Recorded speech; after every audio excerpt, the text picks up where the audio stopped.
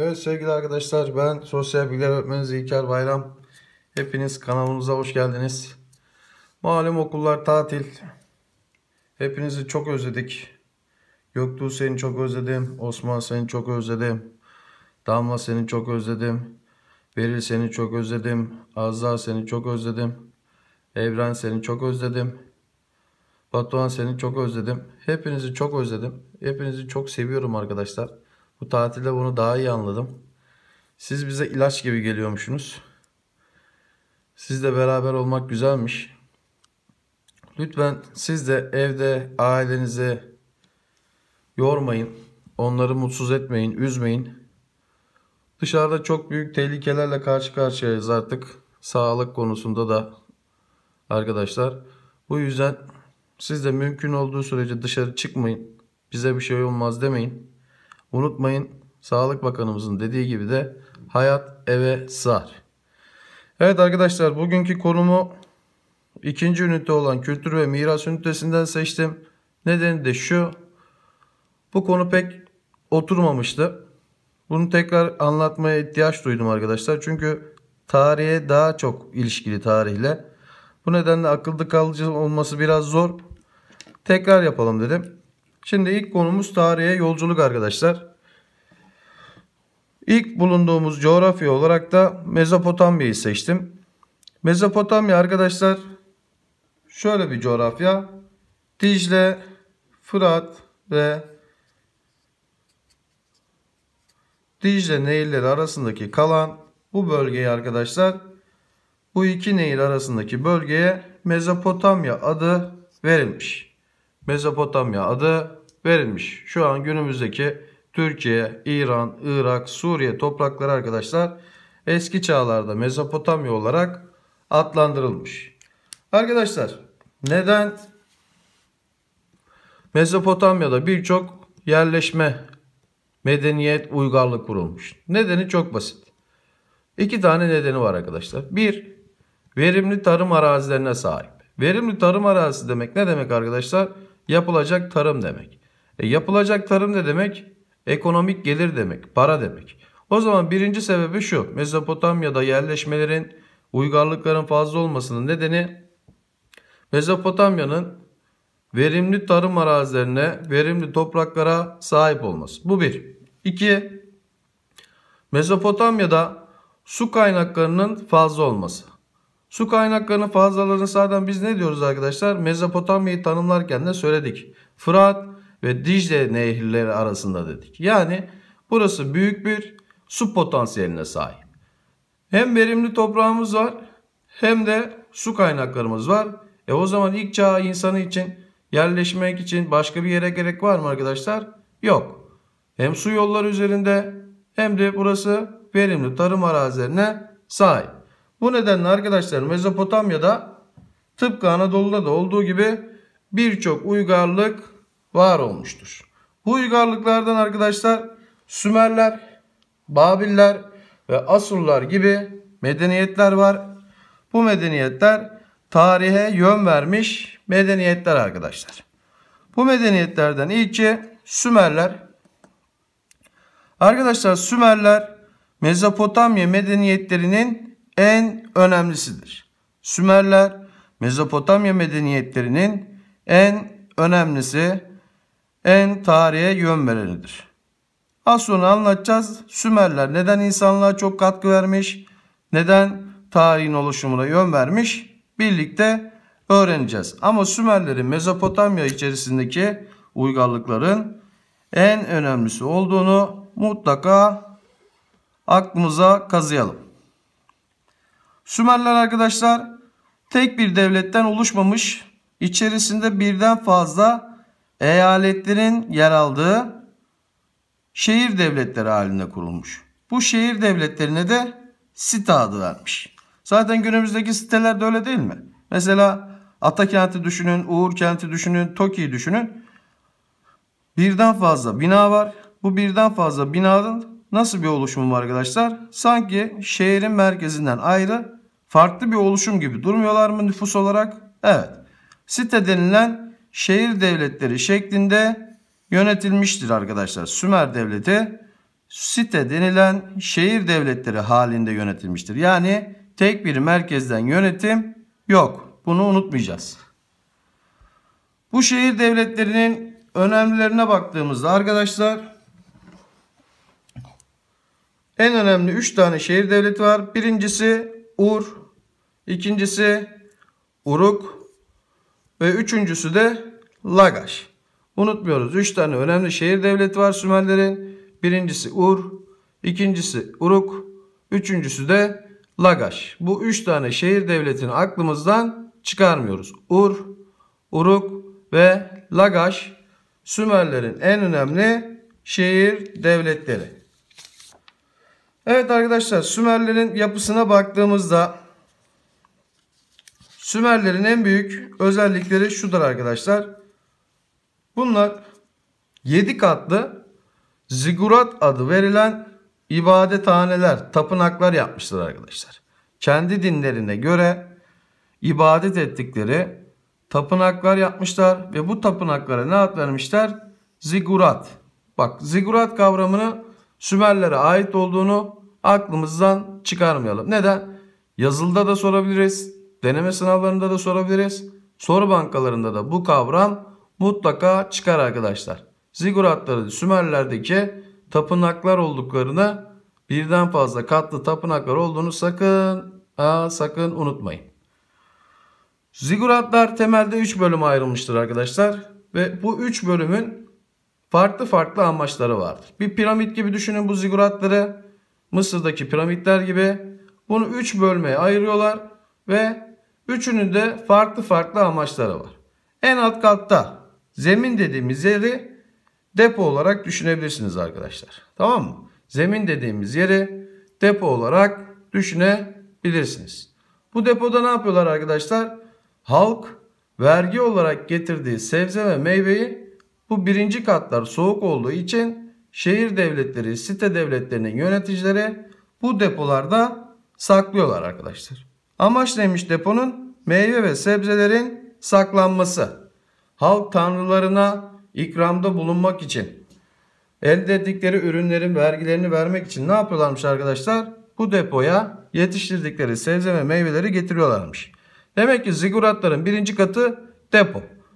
İkinci katı ibadet ve eğitim için kullanılmış arkadaşlar. Kendi tanrılarına ibadet etmek ve o günün şartlarında eğitim vermek için kullanılmış. Üçüncü kısımda gözlem evi yani rasathane olarak kullanılmış. En üst kısmı da gözlem evi rasathane olarak kullanılmış. Bu gözlem evlerinde neler incelenmiş arkadaşlar? Yıldızların ve gezegenlerin hareketleri incelenmiş. Ziguratların en üst katlarında yıldızların ve gezegenlerin hareketleri incelenmiş. Eğer son katta yıldızları, gezegenleri yani gökyüzünü inceliyorsam arkadaşlar Sümer devletlerinin hangi bilimde ilerlediğini söyleyebilirim ben. Gök bilimi adını verdiğimiz astronomi alanında gelişme gösterdiğini söyleyebilirim. Hocam nereden çıkardın bunu? E, kanıt ortada. En üst kat gözlem eviydi. Bu gözlem evinde ne inceliyorlardı arkadaşlar? Yıldızları ve gezegenleri inceliyorlardı. Eğer burada yıldızları ve gezegenleri izliyorlarsa yıldızlar ve gezegenler nerede? Gökyüzünde. Gökyüzünü inceleyen bilim neydi? Astronomi yani gök bilimiydi. E bu yaptıkları hareketle arkadaşlar Sümerlerin astronomi yani gök bilimi alanında geliştiğini gösterir. Hatta arkadaşlar bunlar o kadar ileri gitmişler ki yıldızları ve gezegenleri izleye izleye izleye izleye bir takvim yapmışlar arkadaşlar. Ay yılı esası yani dünyanın ayla beraber döndüğü 354 günü takvim olarak oluşturmuşlar. Unutmayın Sümerler gökyüzünü izleye izleye yıldızların hareketlerine bakarak neyi ortaya çıkarmışlar arkadaşlar? Ay yılı esaslı takvimi ortaya çıkarmışlar. Bu bilgi de önemli. Bunu da unutmayalım. E hocam ben Sümerlerin astronomiyle ilgilendiğini nereden çıkaracağım? Bana kanıtlar mısın bunları? Kanıtlayayım güzel kardeşim. 3 tane kanıtım var bununla ilgili. Sümerlerin astronomiyle uğraştığını kanıtlamam için elimde 3 tane veri var. Birincisi arkadaşlar bu adamlar tapınaklarının en üst katlarını ne olarak kullanıyorlardı? Gözlem evi olarak kullanıyorlardı. Yani burada yıldızları ve gezegenleri inceliyorlardı. izliyorlardı. O zaman gözlem evi kurmaları gök bilimiyle, astronomiyle uğraştıklarının benim için bir kanıtı. İkinci kanıtı gökyüzünün incelemeleri yani yıldızların ve gezegenlerin haritalı, haritaların çıkarmaları, hareketlerini kontrol etmeleri. Son olarak da 354 günü içeren takvimi oluşturmalı. E bu takvim nasıl oluşmuş? Ayın hareketlerini inceleye inceleye. E demek ki o zaman bu adamın astronomiyle, gök bilimiyle ilgisi var mı? Tabii ki de var. Evet. Beren uyuma, uyan. Arkadaşlar Sümerlerin bilmemiz gereken diğer bir önemli özelliği de şu. Takvimden sonraki insanlık tarihine en büyük katkıları yazıyı bulunmaları olmuş arkadaşlar. Unutmuyoruz. Hadi okulda da kil tablet etkinliği yapmıştık. Çivi yazısı yazmıştık. Yazıyı bulup onu geliştiren uygarlık kimdi arkadaşlar? Tarihi çağları başlatan Sümerlerdi. Hocam Sümerler nasıl yazıyı bulmuş? Çok basit arkadaşlar. Az önce dedik ki bunların zigurat adı verilen tapınakları var. Ve bu tapınakların birinci katında da neleri var? Sebze ve meyvelerin depolandığı alanlar var. E hocam e bu adam depoya bu malı getirdiğinde kral yarın sormayacak mı? Bugün bu ay e, takvim de var adamlarda. Bu ay kaç ton buğday geldi Ali diye sormayacak mı? Soracak. Ali de ne diyecek? Kralım diyecek. Ben diyecek sana bunu nasıl kanıtlayacağım? O zaman kral da diyecek ki bak Alican güzel kardeşim 3-5 bir şey karalayalım. Buğday resmi çizelim. Yanına farklı semboller kullanalım. Bunun ne kadar olduğunu anlarız demiş. E bu ihtiyaç sonucunda ne olmuş arkadaşlar? Bu sebze ve meyvelerin kaydını tutup krala göstermek için kullanılan semboller zamanla neyi ortaya çıkarmış? Yazıyı ortaya çıkarmış ve tüm insanlığın kullanımına bu yazı sunulmuş arkadaşlar. Arkadaşlar Sümerler yazının icadıyla ne yapmış? 1. Tarihi çağları başlatmış. Hani biz tarihi ayırmıştık dönemlere ilk çağ, orta çağ, yeni çağ, yakın çağ diye. Tarih yazıyla başlamış arkadaşlar. Tarih unutmayın yazıyla başlamıştır. E şimdi ben yazdıklarımı kaydetmezsem nasıl geçmişteki dedelerimin, atalarımın, ilk insanların yaptığı faaliyetleri bileceğim? Bilemem. O yüzden ne yapmışız arkadaşlar? Yazının başlamasıyla artık tarih bilimi ortaya çıkmış. Tarih dönemler ortaya çıkmış. E tarih sayesinde neler olmuş arkadaşlar? 6. sınıfta göreceksiniz. Orhun kitabeleri veya Göktürk kitabeleri adı verilen Türklerin ilk yazılı heykelleri var. Bu heykelleri milattan önce 5. yüzyılda yapan dedem Bilge Kağan'ın ben hala yazdıklarını okuyabiliyor muyum? Evet. Dedem Bilge Kağan'ın Türk halkına verdiği öğütleri biliyor muyum? Evet. Nasıl biliyorum?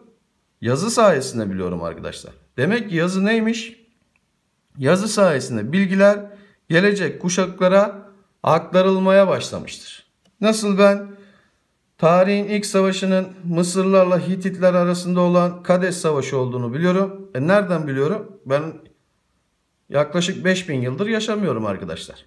Mısırlarla Hititler bunu yazılı anlaşma olarak düzenledikleri için ve bu yazı kuşaktan kuşağa aktarıldığı için bu bilgiler ben tarihin ilk savaşının ve ilk barış anlaşmasının Hititlerle Mısırlar arasında yapıldığını biliyorum. Demek ki yazı sayesinde ben 5000 yıl önceki bilgilere ulaşabiliyorum arkadaşlar. Sümerlerle ilgili son konumuz. Yine arkadaşlar Sümerler zeki adamlar büyük bir buluşa daha imza atmışlar. Ne yapmışlardı? Ay yıl esaslı takvimi yapmışlardı. 2. Yazıyı buldular. 3 de arkadaşlar insanlığın en çok işini kolaylaştıran, onu en çok vaktini değerli hale getiren bir icat ortaya koymuşlar arkadaşlar. Neyi bulmuşlar? Tekerleği bulmuşlar. Sümerlerin insanlık tarihine yaptığı diğer bir yararlı icat tekerleğin bulunması arkadaşlar. Tabi günümüzdeki lastik kauçuk tekerlekler gibi düşünmeyeceğiz bunu. Taştan yapılan köşeli tekerlekler olarak düşüneceğiz. Peki hocam tekerleğin bulunmasını buldu. E benim ne işime yaradı? Şimdi onları anlatacağım. İlk faydası şu oldu arkadaşlar. İnsan yük ve eşyalar daha kolay ve hızlı bir şekilde uzaklara taşınmıştır. İnsan yük ve eşyalar daha kolay ve daha hızlı bir şekilde uzaklara taşınmıştır. Bu tekerleğin ilk faydası arkadaşlar. Uzaklara gidip gelme kolaylaştığı için iletişim ve etkileşim hızlanmıştır. Uzaklara gidip gelme kolaylaştığı için iletişim ve etkileşim hızlanmıştır. Mesela ne yapmışlar arkadaşlar? Tekerlek sayesinde ticaret başlamış. Mesela Sümerlerle Anadolu uygarlığı olan, diğer bir Mezopotamya uygarlığı olan Asurlar arasında ticaret gelişmiş. E bu sefer ne olmuş? Sümerler Asurların, Asurlar da Sümerlerin kültüründen etkilenmiş. Yani etkileşim hızlanmış. Uzaklara gidip gelme kolaylaştığı için de ne olmuş arkadaşlar? İnsanların arasındaki mesafeler tekerlek sayesinde azalmış. Arkadaşlar bununla ilgili yarın size e, bir etkinlik gönderirim. Bugün salı günü ama videomuz çarşamba günü yayınlanacak. Lütfen sizden ricam hiçbiriniz evden çıkmayın. Hepiniz evde kalın. Biz çocuğuz bize bir şey olmaz demeyin. Lütfen ve lütfen ailenizde üzmeyin. Evde kaliteli vakitler geçirin. Kendinize hobiler edinin. Mesela güzel bir puzzle alıp yapabilirsiniz. Geçmiş konuları tekrarlayabilirsiniz. Bununla ilgili EBA'da da çeşitli oyunlar var. Aklınıza takılan bir soru olursa bize zaman her zaman buradayız. Her zaman sizinleyiz. Sizi özlediğimi unutmayın. Kendinize iyi bakın. Ailenize de selamlarımı iletin.